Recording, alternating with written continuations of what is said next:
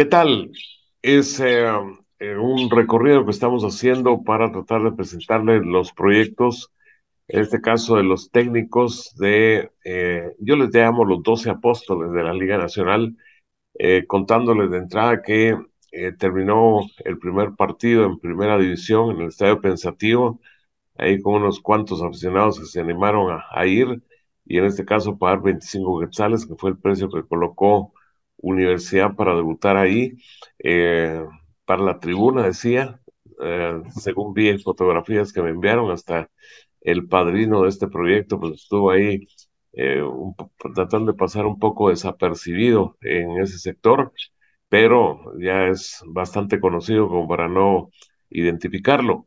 Y en el campo, Juventud Pinoteca, que hasta hecho como equipo la formación de Saúl Phillips, le ganó al proyecto de equipo de Mauricio Tapia por 2 a 0 eh, con un, gran gol de Franklin García en cuanto a la calidad de remate, que se le filtró a la derecha a Estuardo Sicán en el primer tiempo, y luego por una falla del arquero, una pelota que parecía controlable, poste, según el observatorio del asistente 1, pues traspuso y traspasó toda la línea de gol a circunferencia, los 12 centímetros del grosor de una línea, y convalidó ese cabezazo salido de un córner. Bueno, lo cierto es que la Universidad Cero, Juventud Pinoteca 2 y trabajo extra, digo yo, para Mauricio Tapia, creo que se preveía porque han llegado eh, todos los jugadores de distintas fuentes, etcétera, según el criterio de escogencia del propio Mauricio y de Juan Manuel Fulens Fernández. Pero eh, nuestro protagonista en primer plano será eh, para esta charla Mario Acevedo.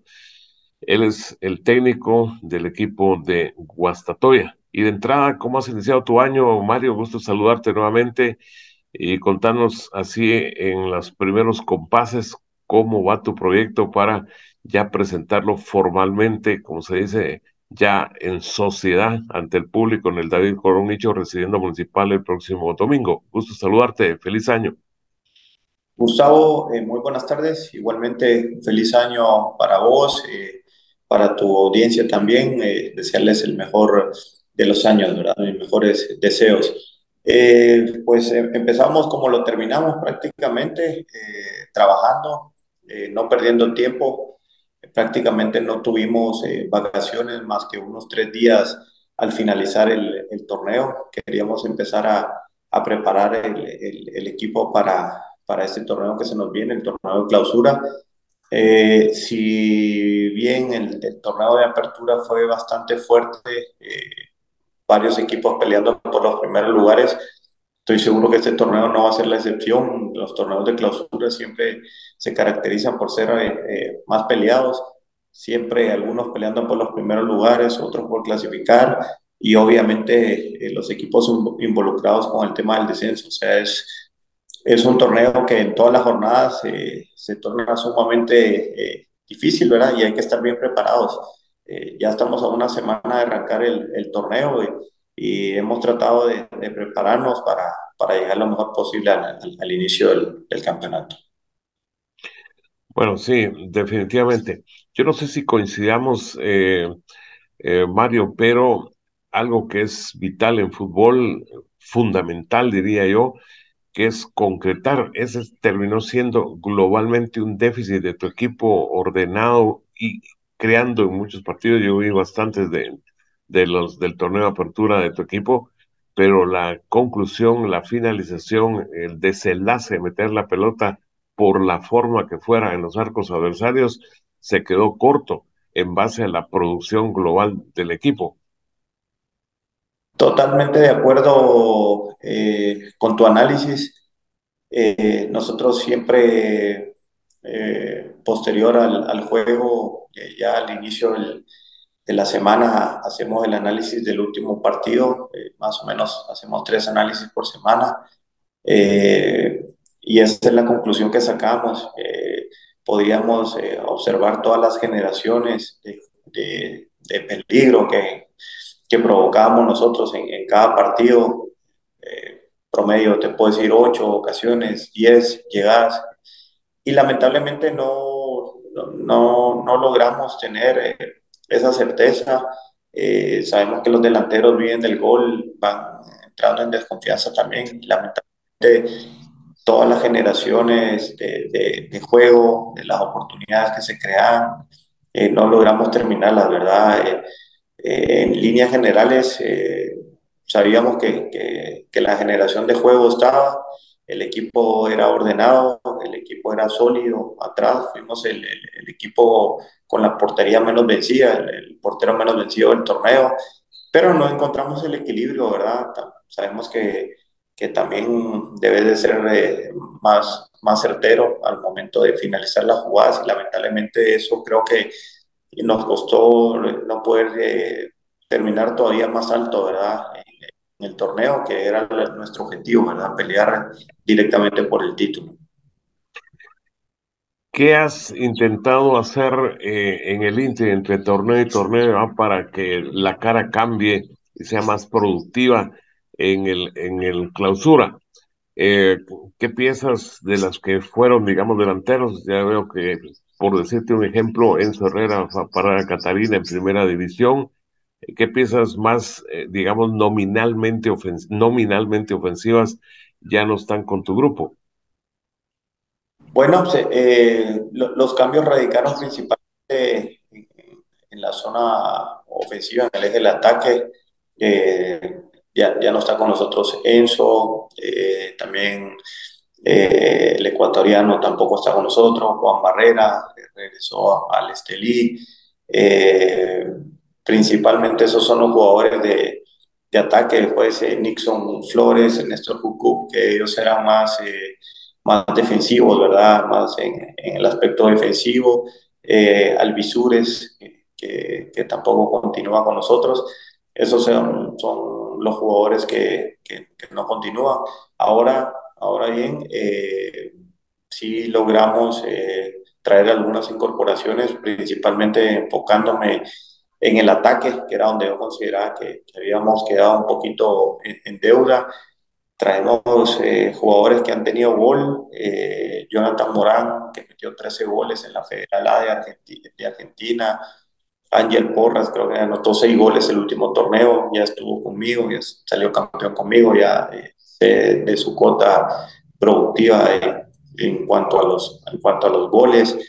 Eh, eh, también traemos a Muma Fernández, que si bien es cierto, es un jugador muy desequilibrante, que estuvo mucho tiempo en Uruguay, un hondureño que es rápido, pero finaliza bien las jugadas por fuera y dentro del área también resuelve bien, creo que nos, nos puede venir a aportar bastante.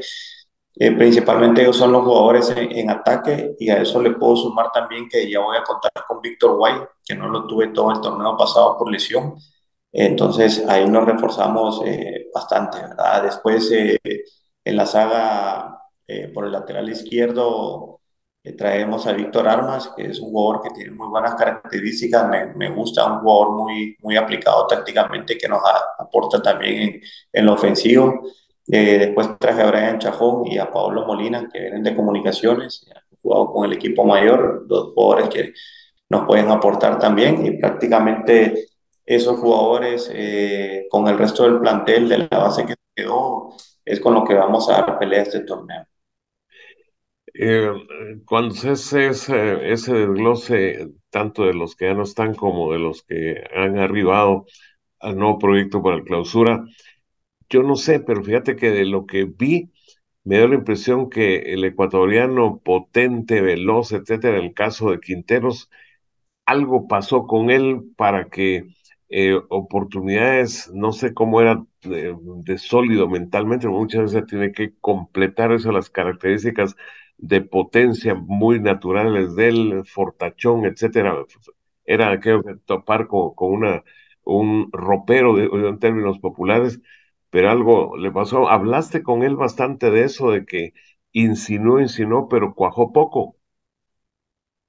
Sí, tuvimos bastantes eh, eh, pláticas con él. La verdad es que una, gran persona, un gran profesional. Eh, lo dejaba todo dentro de la cancha. Siempre se esforzaba a, tope. él lamentablemente considero que estaba un poco presionado por el tema de los goles, que era lo que te comentaba.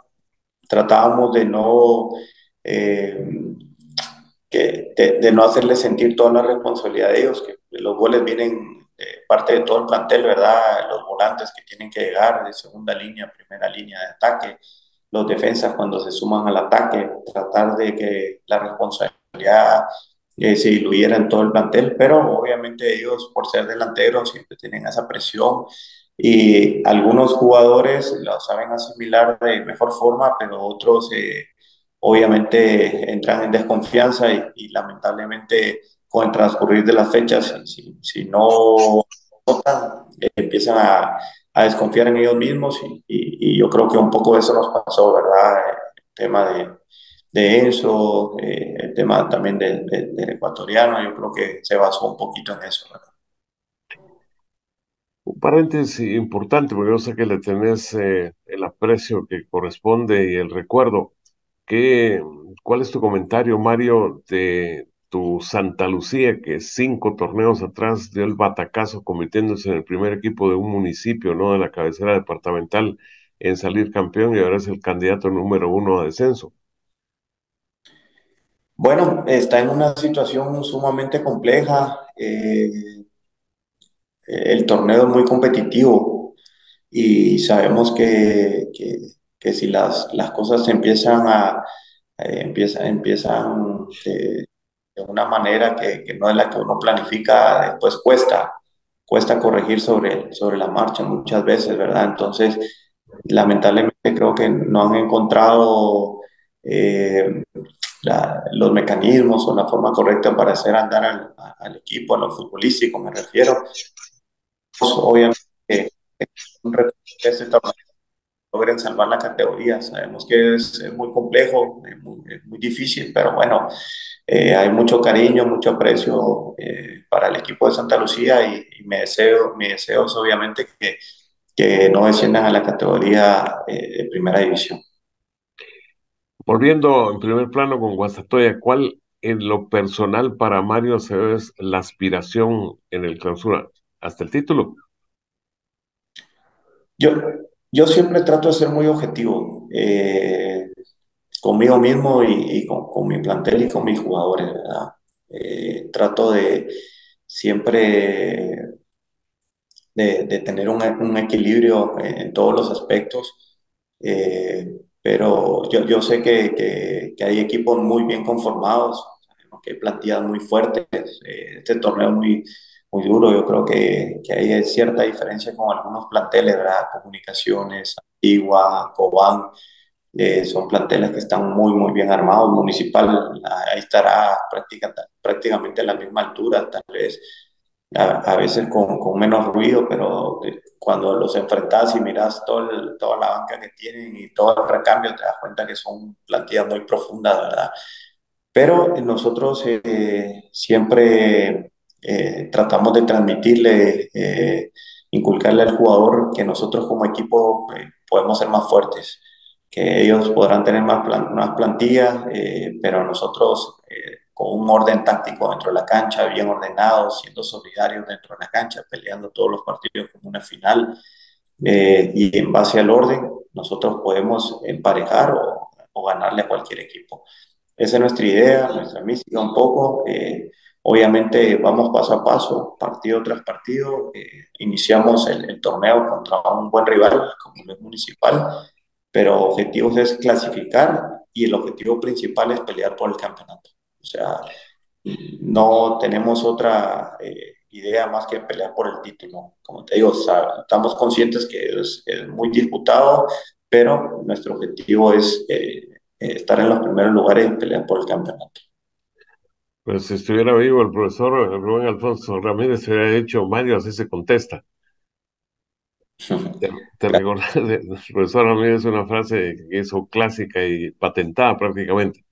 Bueno, lo recuerdo. Lo recordás. Bueno, eh, justamente en tu respuesta tocaste varios nombres.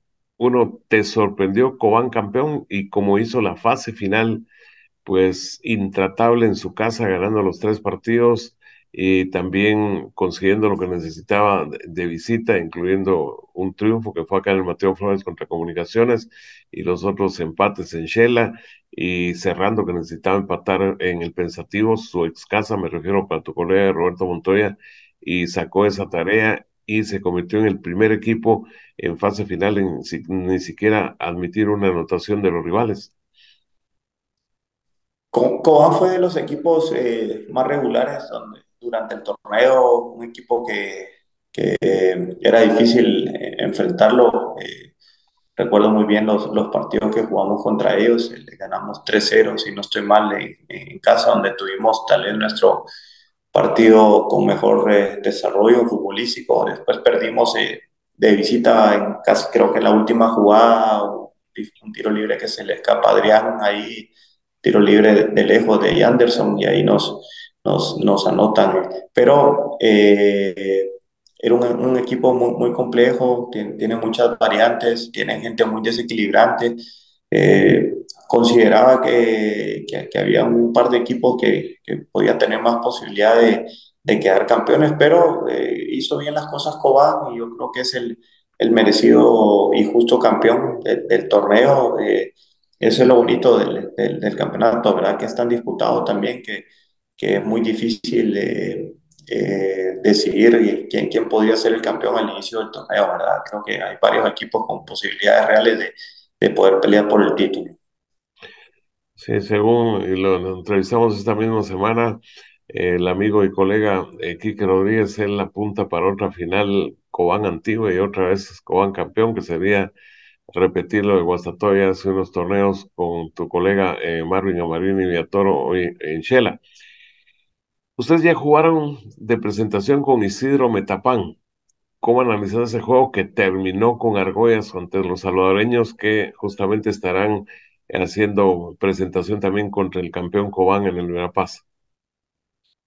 Eh, sí, ya tuvimos un par de partidos más, más formales. Eh, fuimos a la presentación del equipo de, San Benito, eh, si no se llama el de Petén.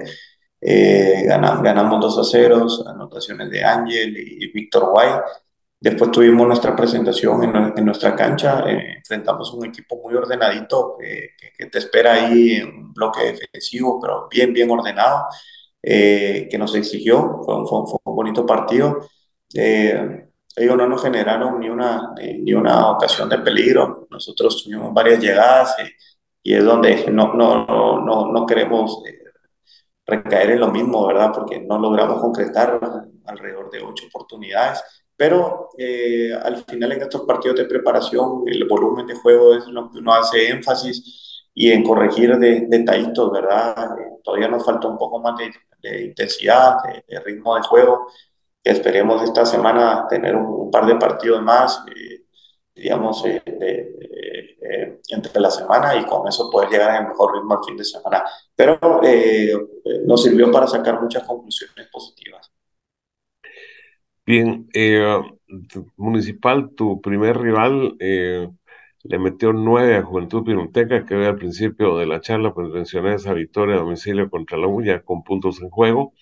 Y otro bueno, hay que detallar que la mayoría de goles de esos nueve llegaron cuando ya eh, tu colega Saúl Phillips había metido al equipo B y hasta el especial. Pero hace unos minutos le metió 4-0 a Misco, que es junto a tu Santa Lucía, pues el otro candidato por la puntuación, aunque ganó tres puntos en la mesa, que le pueden servir un poco de oxigenación para no estar lejos del puesto décimo. Me recuerdo que cuando agarraste a Santa Lucía, lo tomaste décimo y fue creciendo hasta donde llegó. Así que, ¿qué te parece? No por los marcadores, etcétera, ese equipo que sigue manejando eh, tu colega Saturnino Cardoso. Solo, el marcador fue 4-0, 4-3. ¿Con quién?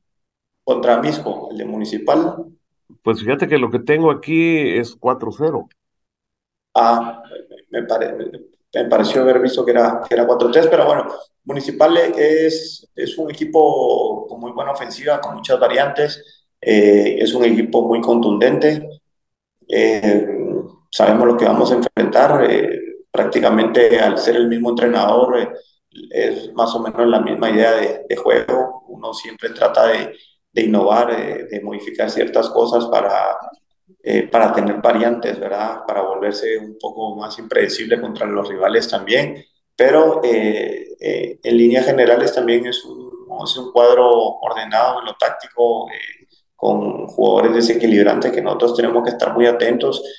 Eh, nosotros también tenemos nuestros argumentos eh, y sabemos cómo, eh, cómo encarar este tipo de encuentros, ¿verdad? Queremos empezar bien el torneo, estamos en casa contra un equipo que nos va a exigir y queremos llegar lo mejor preparados porque queremos arrancar bien y queremos que los tres puntos se queden en casa. Pues tenés razón, es 4-3, fue mucho más apretado el asunto, 4-3, así con goles incluso de José Carlos Martínez, que le había hecho uno, eh, un triplete a Juventud Pirulteca, Antonio Jesús López, que hace goles por lo menos en ese tipo de partidos, Pedro Altán, que hizo otro también en el partido con los Pirultecos, y también el cubano Yasni Matos, que es eh, un ejemplo, pienso, de lo que es sencillez a jugar a velocidad. Bueno, eh, ya la parte final de, la charla, ¿te gustó el Mundial de Qatar, Mario? Sí, me, me, me, gustó mucho este Mundial. Eh, a veces por los entrenos eh, no pude verlos todos, pero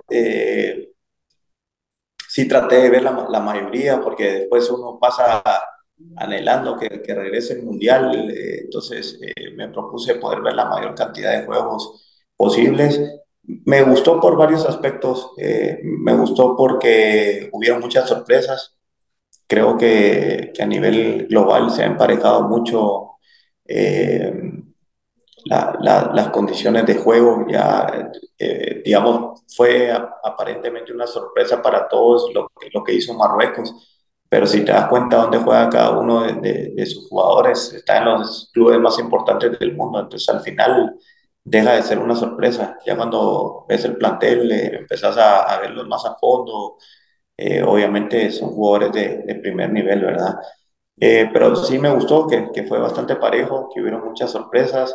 Fue una, dentro de todo, digamos, una muy grata sorpresa Argentina que, empezó perdiendo, pero aprovechando que, que, que, pasan los partidos en repetición, ya cuando los analizas, era un equipo muy ordenado, muy práctico dentro de la cancha, que jugaba con mucha intensidad, eh, a muy buen ritmo y al, final contra una gran selección como, como era Francia, ¿verdad? Eh, también con esos físicos impresionantes, que por eso todo, la mayoría las ponían de candidato porque físicamente le pasaba encima a todas las selecciones. Y, y creo que fue, que fue un, lindo, un lindo mundial, ¿verdad? Un poco eh, diferente a lo que estábamos acostumbrados, en otro clima, en otro ambiente, en otra fecha, pero yo creo que al final todos los que eh, estamos involucrados o todo lo que nos gusta el fútbol, eh, disfrutamos de, de, de, esta fiesta grande que es el Mundial. Mario, eh, ¿descubriste algo novedoso en lo táctico de lo que pudiste ver o esos que ya eh, lo repiten o te los graban, etcétera, para con más detenimiento estableces que hubo algo que te llamó la atención como novedad? Bueno, entre las cosas eh, novedosas, no sé si has tenido información al respecto, pero Scaloni, por ejemplo, casi que cambió los sistemas en todos los partidos, ¿verdad? Y, y muchas las alineaciones también eh, son técnicos, obviamente, que estudian mucho a los rivales, eh, eh, que es lo que uno trata de hacer, de, de, ver las debilidades del rival, de ver cómo les puedes hacer daño y en base a eso modificando, ¿verdad? Entonces, son cuestiones tácticas que, que tratas de ir aprendiendo, de, ir corrigiendo también pero sobre todo lo, lo, que es el fútbol moderno hoy en día, ¿verdad? Eh, jugar lo más sencillo posible, la técnica, la velocidad, la velocidad del balón. Eh, los jugadores juegan eh, lo, lo, más sencillo posible, ellos saben definir o identificar las zonas de juego, dónde tienen que jugar con seguridad, dónde tienen que pasar el balón con la mayor velocidad posible, dónde tiene que haber cambios de ritmo, de ritmo rompimientos y eso los hace eh, prácticamente ser selecciones muy fuertes, ¿verdad? Junto con, con el físico. Eh, la verdad es que al final eh, terminamos disfrutando de, de esta fiesta. Bueno, Mario, pues eh, agradecidos acá en Contacto Deportivo por el espacio para poder eh, platicar y éxito en este 2023 en el primer semestre con tu nuevo proyecto del pecho amarillo. Siempre estamos a las órdenes, eh, Gustavo. Eh, es un gusto para mí saludarte hace muchos años ya que, que, te conozco, desearte éxitos también en todos tus proyectos y esperemos que tengamos eh, más de estas entrevistas, pero pudiendo celebrar cosas importantes.